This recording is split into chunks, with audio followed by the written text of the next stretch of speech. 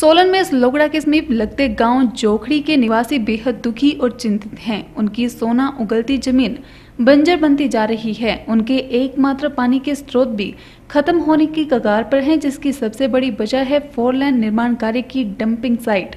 जहाँ सैकड़ों गाड़ियाँ सड़क से मलबे की फेंकी जा रही हैं। ये मलबा बारिश होने पर बहकर खेतों तक पहुँच रहा है। बड़े बड़े पत्थर बिना किसी सूचना के सड़क से गिरा दिए जाते हैं, जो गाँव वासियों के खेतों तक पहुँच रहे हैं। यहाँ तक कि गाँव वासियों का एकमात्र पानी का स्रोत कई बार इस मलबे के नीचे दब चुका है। गौरतलब ये है कि इसकी शिकायत गाँव वासी जिला प्रशासन से लेकर प्रदेश सरकार तक कर चुके हैं, लेकिन अभी तक उनकी कोई सुनवाई नहीं हुई है। इसलिए वे प्रदेश सरकार से मांग कर रहे हैं कि उनके खेतों की तरह उनके परिवार को भी इस मलबे के नीचे दफन कर दिया जाए।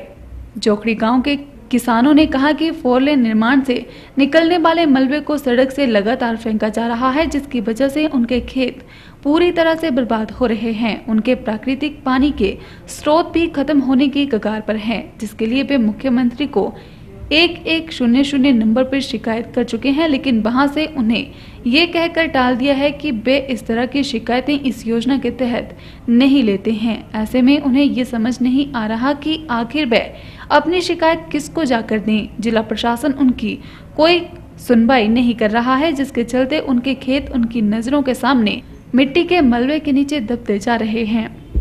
जी, हम जोखड़ी गाँव के रहने वाले हैं, सर। हमारे यहाँ पे अपनी ज़मीन है। यहाँ पे हमारी बॉडी है, टैंक है, ऊपर से जो फोर लाइन का मलबा आ रहा है, वो इतनी तेज़ी से आता है, ट्रक भर भर के आते हैं, जिससे हमारी बॉडी भी दब गई है, पानी के टैंक भी दब गए हैं। हम इसी पानी के भरोसे हैं, अपनी खेती भी इसी से चलाते हैं, हमारा कोई रोज़गार और नहीं है। हमारे जो फ़सल होती है, इसी पानी की सिंचाई से होती है, जो भी हमारा खेत का, इसी, इन्हीं खेतों से हमारा घर का गुजारा होता है। अब इतने दिनों से ना हम कोई फ़सल लगा सकते, डर के हमारे सारा मलबा हमारी फ़सल को तबाह कर देगा। इतना मलबा है कि पानी भी कभी भी तबाह हो सकता है, ना हमारे को पीने का पानी है यहाँ पे, ना खेत की सिंचाई के लिए पानी है। हमारे पशु बच्चे यहाँ पे पानी लेने नहीं आ सकते, ना डंगर कोई चुगने के लिए आ सकते हैं। बारिश में सारे ऊपर से जो तीन चार नालों का पानी जो इकट्ठा आता है, उस टाइम भयानक बारिश में, बारिश पानी आता है, उससे मलबा सब खेत नानों का दबने का डर रहता है, अपनी जान का भी डर रहता है, कभी हम पानी लेने नहीं जा सकते।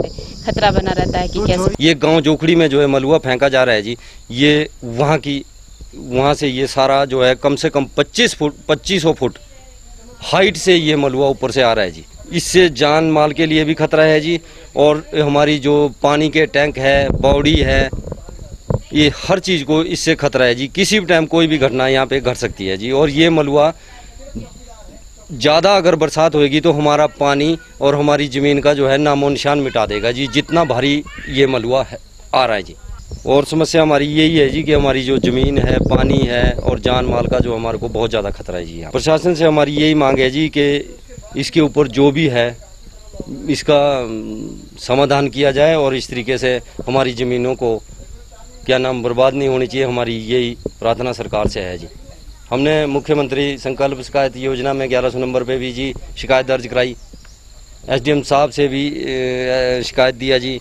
लेकिन कहीं से भी हमारे को सरकार से अभी तक कोई इसके बारे में कोई भी कार्रवाई नहीं हो रही है। वहाँ से उन्होंने जी शुरू में तो ये कहा कि आपकी शिकायत जो है संबंधित विभाग को भेज दी गई है और जल्दी से जल्दी इसके ऊपर कोई कार्रवाई की जाएगी। लेकिन काफ़ी दिनों के बाद 25 दिनों के बाद उन्होंने ये कहा कि हम इसके ऊपर कोई भी कार्रवाई नहीं कर सकते, आप कहीं और जगह शिकायत करा चिंता का विषय तो है जी हमारे को तो चिंता ये इस रही है कि किसी भी टाइम हमारा ये ज़मीन जो है बिल्कुल पूरे तरीके से बर्बाद हो सकती है।